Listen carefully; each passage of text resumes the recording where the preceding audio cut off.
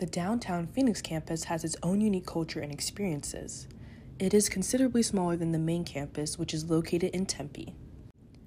The campus has nine different colleges and schools, which consist of Thunderbird School of Global Management, Walter Cronkite School of Journalism and Mass Communication, Watts College School of Criminology and Criminal Justice, Edson College of Nursing and Health Innovation, and more.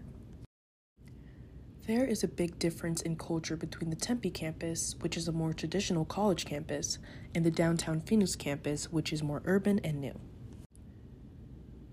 There has been discourse and conversations among students about the significant differences between the two campuses. I interviewed two students who attend and live on the downtown Phoenix campus and asked them about their experiences. Uh, my name is Savannah Munoz, and I am a freshman at the downtown Phoenix campus, and my major is criminal justice. Hi, I'm a freshman here at Arizona State. Um, my name is Owen Murphy, and I major in Parks and Rec Management.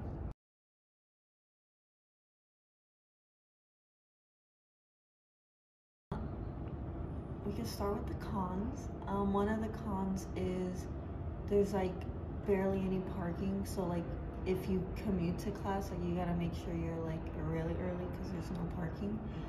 Um, another con would be there's there's I don't know how it is in Tempe, but there's not a lot of like food places that you can like walk to, so like you kind of have to have like transportation.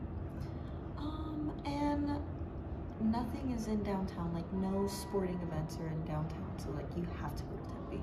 And then a pro would be, um, it's kind of more calm than Tempe, I think. So it's better for people with like slow pace. You're close to all your friends, you meet new people every day, there's tons of food around, and transportation is pretty easy. I would change the dining hall. I feel like they have a lot of the same stuff every day. Like I've actually been going these past like three days and I've eaten the same thing every single time. And it gets boring.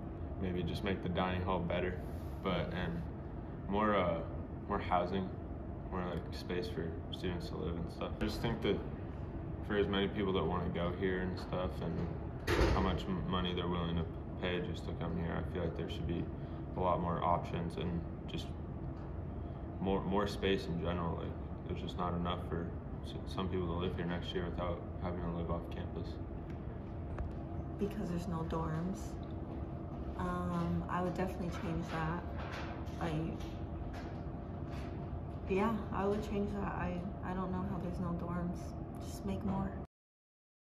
Depending on what campus you're on can affect your college experience, and after hearing what students have said about the downtown campus, there is much to be improved.